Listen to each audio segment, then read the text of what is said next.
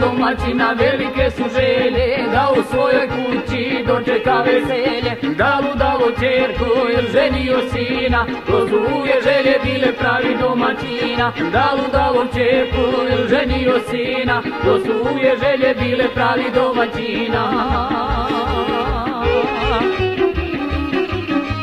Ove pjesme neka se sve ostvare želje Da ovako svaka kuća dočeka veselje ovako svaka kuća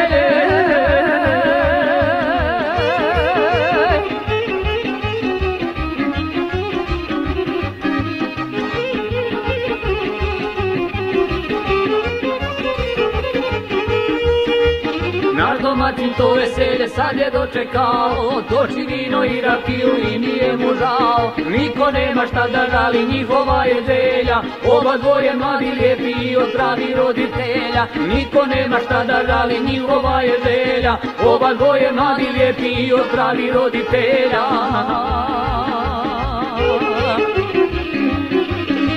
Ove pjesme neka se sve ostvare želje Da ovako svaka kuća dočeka veselje. Da kuća dočeka veselje.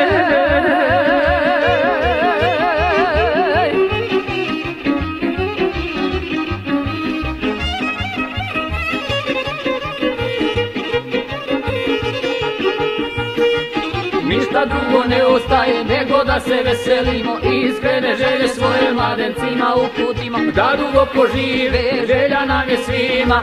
U životu da dobiju čerticu i sina. Da dugo požive, želja nam je svima. U životu da dobiju čerticu i sina.